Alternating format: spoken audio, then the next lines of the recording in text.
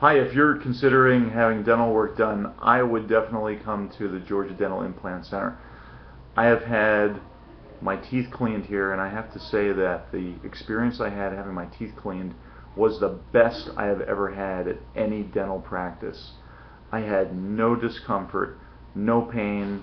These are great folks. They do a wonderful job. They will treat you the right way and make sure that your smile looks great. So if you are considering coming to this practice, I would do it.